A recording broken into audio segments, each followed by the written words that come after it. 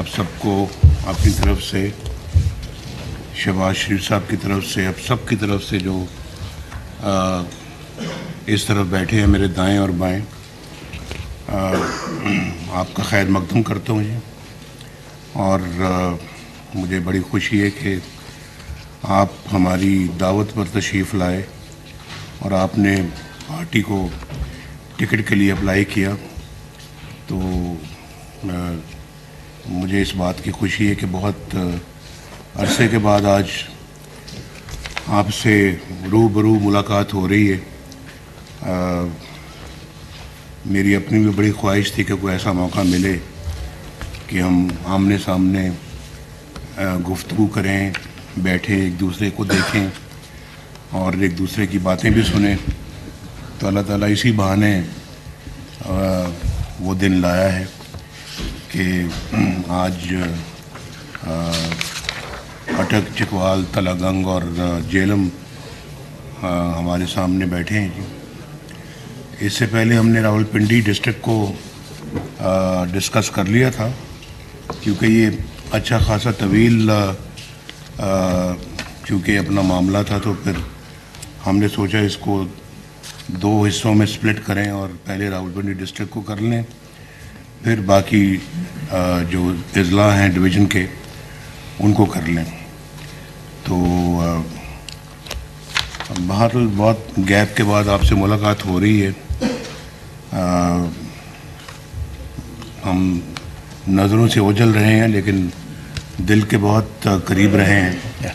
और आ, मैं भी बहुत आपके बारे में भी मुल्क के बारे में भी आ, सोचता रहा। मैंने बड़ा याद रखा हर मामले को हर आ, अपने दोस्त को अपने साथी को। मैं भूला नहीं और वहाँ से काम के लिए भी दुआ और दवा जो भी मैं कर सकता था वो करने की कोशिश करता रहा। तो अल्लाह ताला से आज भी दुआ है कि अल्लाह ताला इस कौम को मुश्किलों से बाहर निकाले। और हम सब के लिए और पाकिस्तान के 25 करोड़ आवाम के लिए अल्लाह ताला आसानी वाली ज़िंदगी अता फरमाए और बड़ा मुश्किल दौर देखा है इस कौम ने पिछले चार सालों में। इससे पहले वाक़ता 2017 तक जब तक कि मैं मुल्क का वज़ी अजम था, अल्हम्दुलिल्लाह मैं अल्लाह ताला का बहुत शुक्र अदा करता हूँ कि एक बड़ा अच्छा दौर था और तरक्की अरूज पे थी। मुल्क के अंदर कोई मुआशी, इकतसादी माशरती या समाजी किसी किस्म का कोई मसला नहीं था और हर लिहाज से पाकिस्तान के अंदर मुआशरा भी अच्छी तरह से आगे बढ़ रहा था, फल फूल रहा था। इकतसादी तरक्की भी हो रही थी और जो इकनॉमिक इंडिकेटर्स हैं हमारे, वो भी बहुत अच्छे चल रहे थे, दुनिया भी देख रही थी। और दुनिया भी इस बात का एतराफ़ कर रही थी कि पाकिस्तान तरक्की की रफ्तार में अब बहुत आगे है और आइंदा चंद सालों में ये न सिर्फ़ खत्े की बल्कि इस इस दुनिया में इन एक बहुत बड़ा मकाम हासिल करेगी। तो वो पता नहीं, एक ख्वाब था जो अधूरा रह गया। उस ख्वाब को पूरा होना चाहिए था। लेकिन कुछ ऐसे अवामिल बीच में आ गए। ऐसे किरदार बीच में आ गए, जिन्होंने अच्छे भरे अच्छे भले चलते एक भागते पाकिस्तान को, एक दौड़ते हुए पाकिस्तान को उन्होंने बिल्कुल ठप करके रख दिया। और आपने देखा कि इकोनॉमी भी हमारी उसी वक्त से जो है ना वो नीचे की तरफ़ जा रही है, चली गई। उसी वक्त से हमारा जो है वो इकतसादी तरक्की भी हमारी बिल्कुल बंद हो गई। उसी वक्त से जीडीपी रेट जो हमारा जो है ग्रोथ रेट जो है वो भी आ, नीचे गिर गया। और फिर उसी दिन से हमारा रुपया भी जो है वो कमज़ोर होना शुरू हो गया। और उस वक्त आप देखें ना चार साल रुपया एक जगह पे रहा है। और उसमें अपना कोई कमी बेशी नहीं आई। चार साल आज तो चार चार घंटे बाद, उसके बाद चार चार घंटे बाद रुपया जो है ना अपनी जगह से हिलता रहा। और जब ये करेंसी आपकी डिस्टेबलाइज होती है तो फिर आपकी हर चीज़ डिस्टेबलाइज होनी शुरू हो जाती है। आज अगर गरीबों के लिए महँगाई इस मुल्क के अंदर अगर है अब पाकिस्तान के अवाम के लिए, उसकी बुनियादी वजह यही है कि आपकी इकॉनमी मिस मैनेज हुई और ये सही सही आप आप इसका इदराक करें कि मिस मैनेजमेंट कब से शुरू हुई है? ये 2019 से शुरू हुई।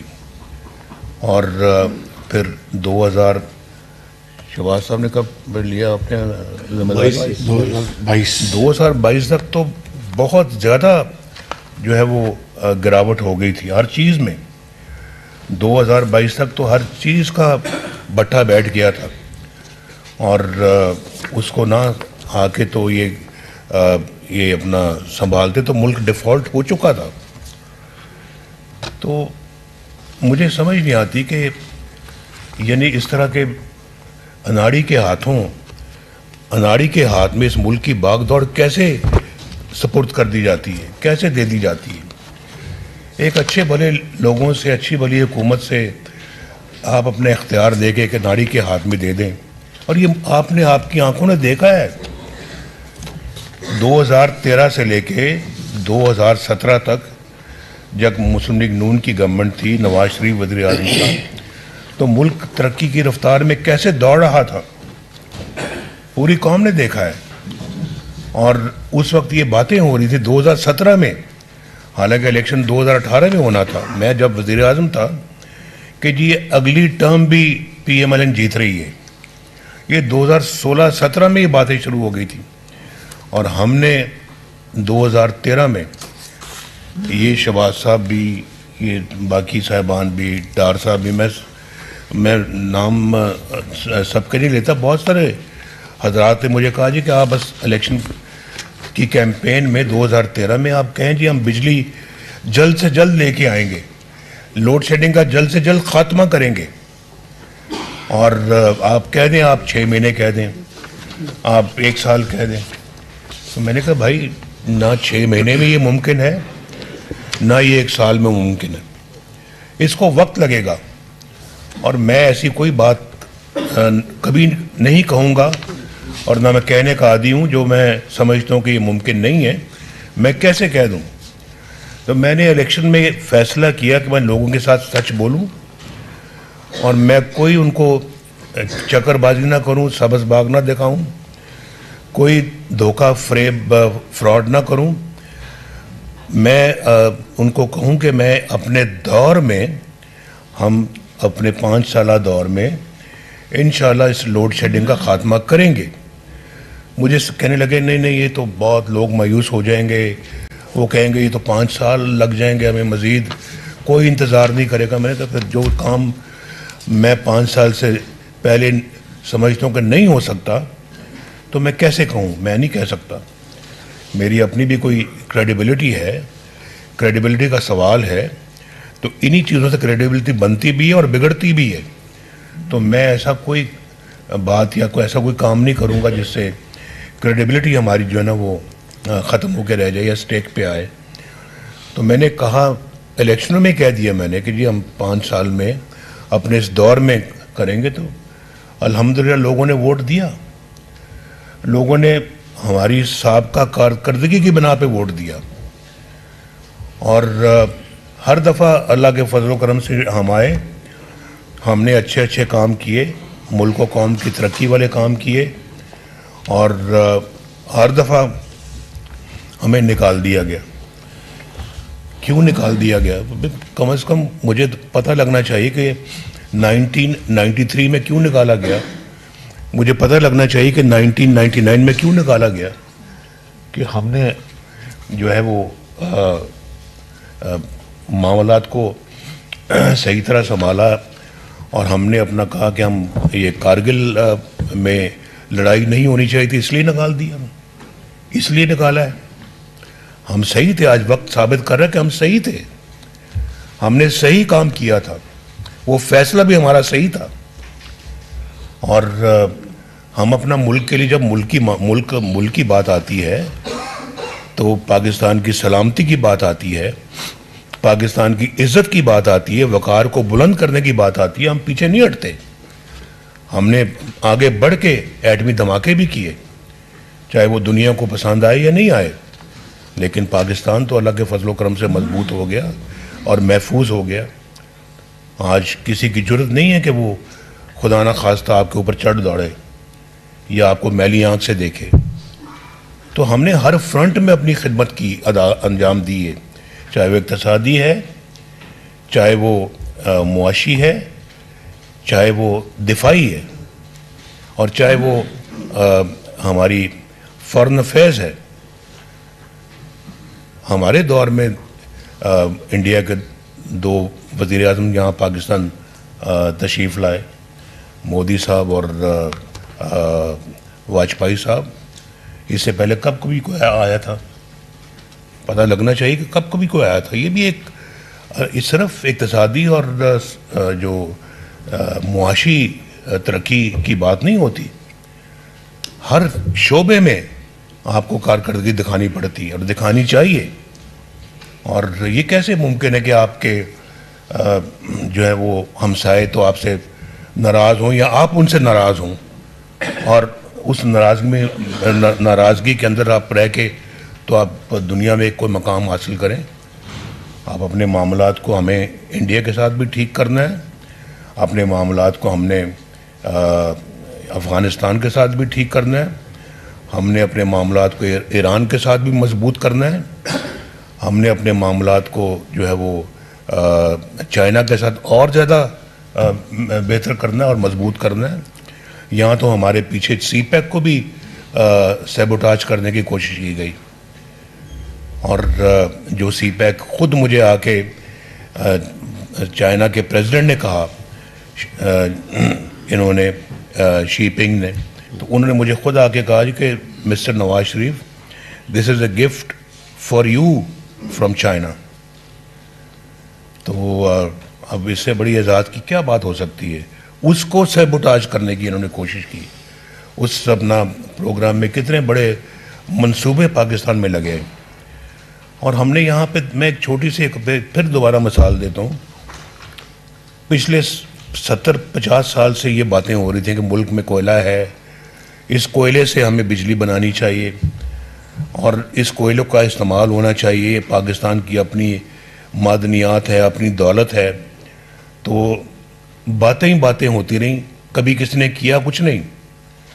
और कोयला बनाने के लिए हमने फर्नेस ऑयल बाहर से इंपोर्ट करना ज़्यादा मुनासिब और ज़्यादा जायज़ समझा। फॉरन एक्सचेंज खर्च करके को हम फर्नेस ऑयल ला रहे हैं और उसको जलाकर हम अपना बिजली बना रहे हैं। इतना महँगा। तेल से हम उसको चलाते रहे फर्नेस ऑयल से चलाते रहे। और उसके बाद हमने ना ज़्यादा तवज्जो दी अपने ये इस पे डैम्स बनाने पे ना पन बिजली पे तो कोई तवज्जो दी ना किसी और अपना ना सोलर पे इतनी कोई लेट तवज्जो दी और वो भी हमारे ज़माने में हमारे ज़माने में शहबाज साहब ने यहाँ पे जो ना वो बड़ा अच्छा एक बावलपुर में लगाया मनसूबा। कायद अजम सोलर पार्क। जी जी कायद अजम जी तो वो अपना वो लगाया और उसके बाद फिर हमने कहा कोयले कोयले की बात बड़ी होती है, लेकिन हम आज तक कभी किया कुछ, किसी ने कुछ नहीं। तो हमने अपने ज़माने में उस कोयले कोयले की कान को खोदा, उसमें से कोयला निकाला। एक तो वो मंसूबा लगाया हमने, ऊपर से फिर बिजली का मंसूबा वहाँ लगाया, जो आज चल रहे हैं मंसूबे। आज बिजली प्रोड्यूस कर रहे हैं वो पाकिस्तान के लिए।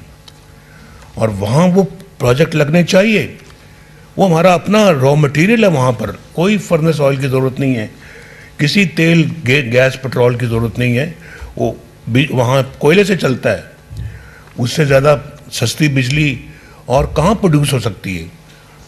तो हमें यहाँ पे पाकिस्तान में बिजली का एक बहुत बड़ा मसला है। हमने पहले लोड लोड शेडिंग का मसला था। अब इमरान खान की गवर्नमेंट ने हमारे लिए बिजली की कीमतों का मसला भी पैदा कर दिया और अ, अब उसकी कीमतें किस तरह से एक मुना- मुनासिब सतह पर लाई जाएँ, ये भी एक बहुत बड़ा मसला है। और होना भी चाहिए। इसलिए होना चाहिए कि हमें गरीब आवाम के दुखों का दर्द हम महसूस करते हैं। उनको क्या तकालीफ हैं? हमें उसका एहसास है। और एहसास करना चाहिए कि किस तरह से अपनी ज़िंदगी गुजारते हैं। आज एक थोड़ा बहुत बिजली इस्तेमाल करने वाला जो एक कुंबा जो है वो सारी तनख्वाह अपने बिजली के बिल पे लगा देता है। या लग जाती है। उसके उसके बस में नहीं है। बाकी कैसे गुजारा करता है ये आप? वो जाने या उन उसके बाल बच्चे जाने। हमें उसका कोई एहसास नहीं है इदराक नहीं है। हमने उन लोगों का सोचना इसलिए मैंने कल ये भी कहा था कि आप आप लोग बैठे हैं, हम लोग यहाँ पे बैठे हैं, हम टिकट्स की बात कर रहे हैं।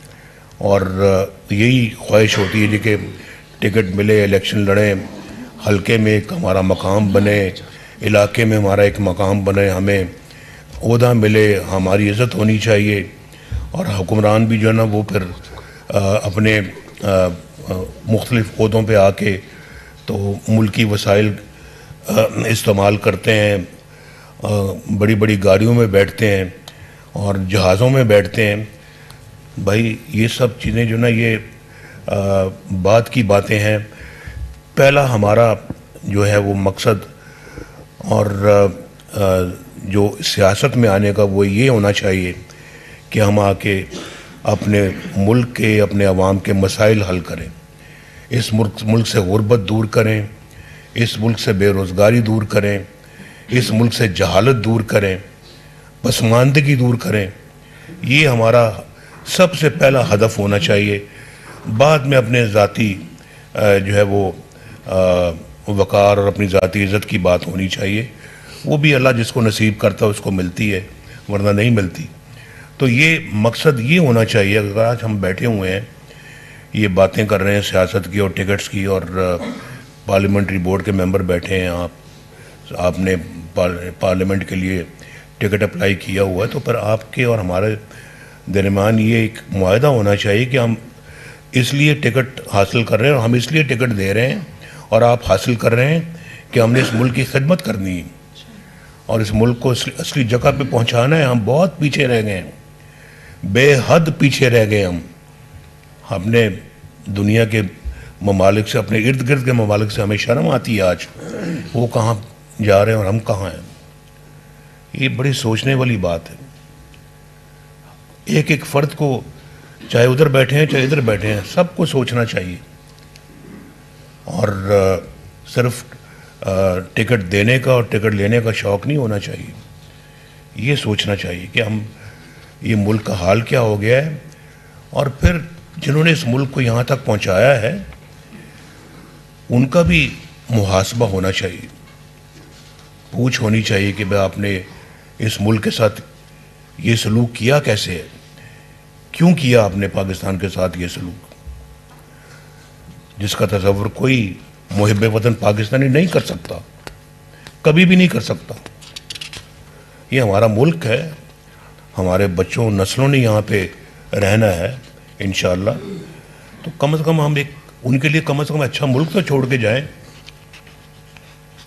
ये सोचने वाली बातें हैं, ये आप ज़रूर जाएँगे घर, सोचें इस पे। और जब तक आप इलेक्शन लड़ते हैं, ज़रूर रोज़ सोने से पहले इस पर पाँच मिनट गौर किया करें, जो मैं बात कर रहा हूँ जी। फिर आप इस जज्बे के साथ अगर आएँगे ना, टिकट भी मिला होगा आपको इलेक्शन लड़ेंगे, कामयाब होंगे। अल्लाह ताला आपके हर हर काम में बरकत डालेगा। हर कदम पे अल्लाह ताला आपको नवाजेगा। तो ये इन ये रास्ता यही है, मुल्क को ठीक करने का और कोई रास्ता नहीं है।